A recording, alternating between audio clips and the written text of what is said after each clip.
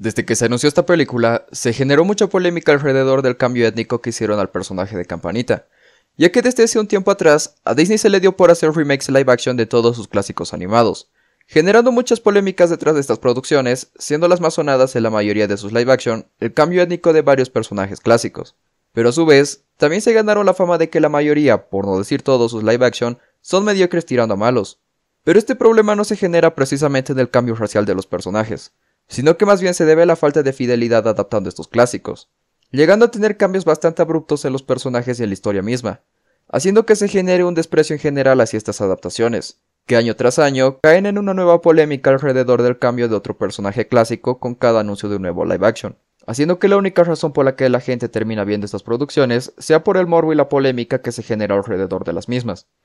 Pero hoy estamos aquí para hablar sobre el nuevo live action de Peter Pan titulado Peter Pan y Wendy, para empezar, esta película realmente no destaca nada a comparación de los últimos live action que estuvo sacando Disney.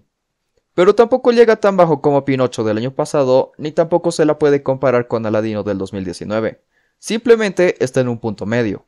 Ya que las locaciones y la fotografía que usaron en esta película es bastante bonita de ver. Lástima que no se pueda decir lo mismo de las actuaciones en esta película. Porque el principal problema que tiene esta cinta es el propio Peter Pan ya que el actor que usaron en esta película es bastante inexpresivo. No expresa absolutamente nada durante toda la maldita película. Incluso parece que estuviera leyendo sus líneas por momentos, pero gracias a Dios, a pesar de que la película se llame Peter Pan y Wendy, realmente el protagonista, o mejor dicho, los protagonistas de esta película son Wendy y Garfio, ya que toda la atención de esta película se centra en la historia y desarrollo personal de ambos personajes, haciendo que por suerte Peter Pan sea relegado a un segundo plano, pero por otro lado, nos dan otra perspectiva algo rara sobre el origen de Garfio, ya que en esta película el Capitán Garfio en realidad fue el primer niño perdido que llevó Peter Pan a nunca jamás. Pero un día al Garfio comentarle a Peter que extrañaba a su madre, este lo destierra y termina siendo rescatado por los piratas. Pero todo esto no hubiera funcionado si no fuera por la actuación de Jude Law como Garfio, ya que entre él y Wendy son los únicos que terminan carreando la película, porque fuera de ambos personajes todo se siente y se ve demasiado deplorable.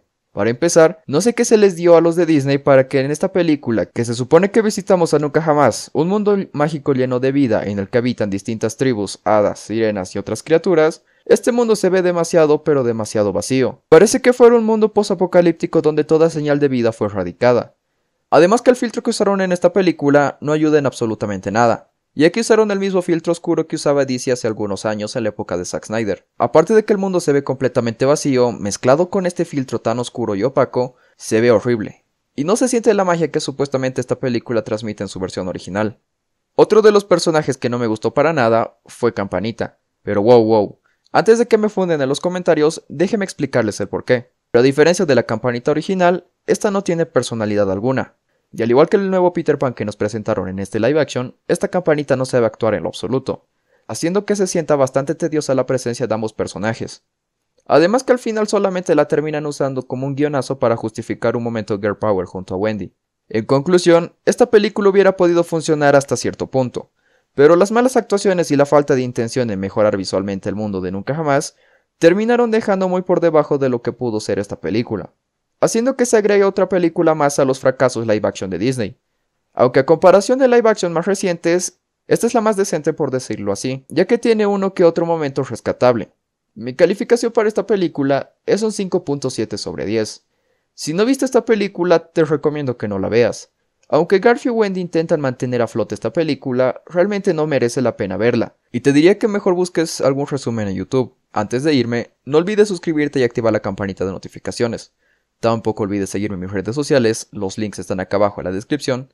Muchísimas gracias por ver este video y hasta el siguiente video.